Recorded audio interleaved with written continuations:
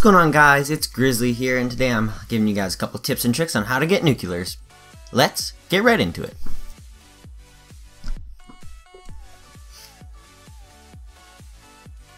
So guys, my top, these are my top 5 ways to help you guys, uh, help you guys get towards those nuclears if you guys haven't got one you want to get that dark, uh, dark ops challenge or if you guys just want to get nuclears and get sick gameplays and just all that stuff, I'll be giving you 5 ways to do that.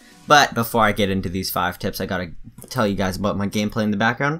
Of course, it's a nuclear, and not that bad that I can't even get a nuclear for the for the how to get a nuclear video. It's uh, playing on the map Skyjacked. I'm using the exact class setup that I used in my last video.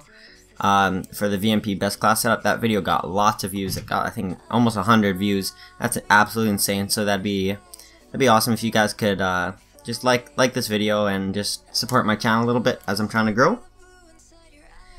So tip number one is use a gun that works for your playstyle. This is, uh, people might be like, oh, that's obvious, like, skip to the next tip.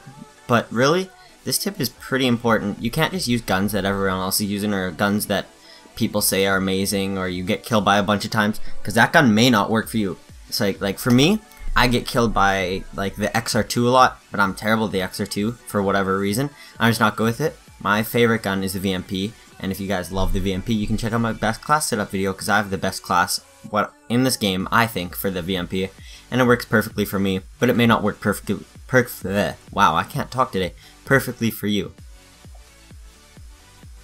Tip number two is use cover. This is another pretty obvious one, but it helps you a lot. Don't just rush blindlessly into the spawn, even if you're using an SMG like the Vesper, the VMP, or even the Kuda, some guns that like just melt, be like, oh, I'm gonna win gunfights anyways. Use cover and just like move slow, move cover to cover, and uh, it'll help you win a lot of those gun battles. And uh, mainly use those covers to head glitch. If you don't know what head glitching is, basically when you're behind a uh, object like a box or something, and only your head showing to the enemy, but for you, you can see them through your gun.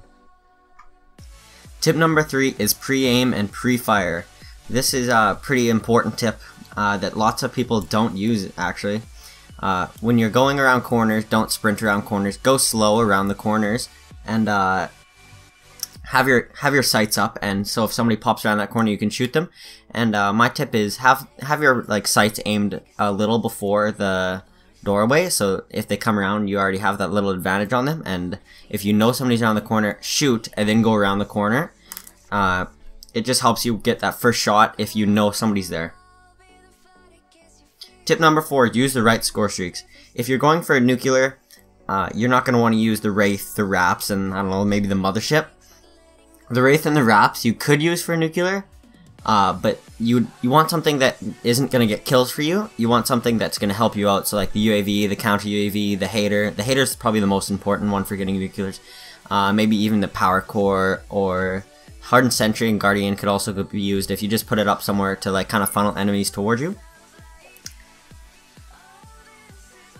And my fifth and final tip is use game modes with good spawns.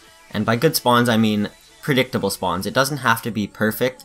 Like, even free-for-all you can do if you know the spawns well, but you're not going to hop into your very first free-for-all game and get a nuclear unless you're, like, amazing at Call of Duty. Like Optic Scumpy or somebody, like, insane just first game on.